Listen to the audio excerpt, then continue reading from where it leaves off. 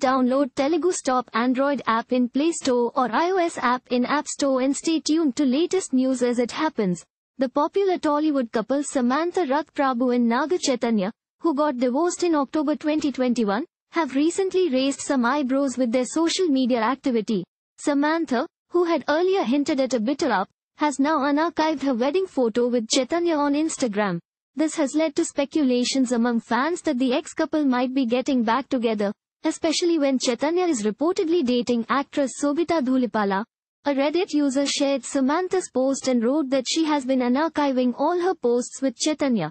The user wondered if they are back together and if Sobita is out of the picture. However, other netizens had different opinions. One of them said that Samantha is just accepting her past and moving on. Samantha and Chaitanya met on the set of Ye Maya Chesave and fell in love.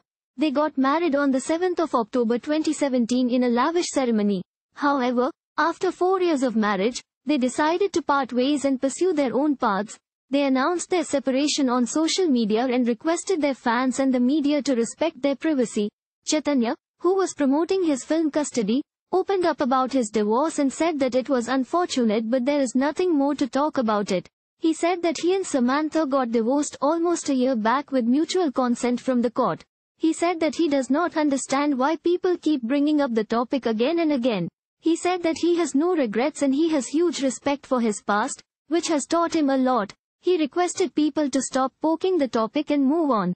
Samantha is very active on Instagram and keeps her fans updated with her life. She also does not shy away from hitting back at the trolls with her witty posts. She was recently seen in Kushi, opposite Vijay Deverakonda. The film was a romantic hit and received rave reviews from the critics and the audience. The film was directed by Shiva Nirvana and produced by Mythri Movie Makers. Thank you for watching. Please subscribe to channel and click on bell for more daily videos.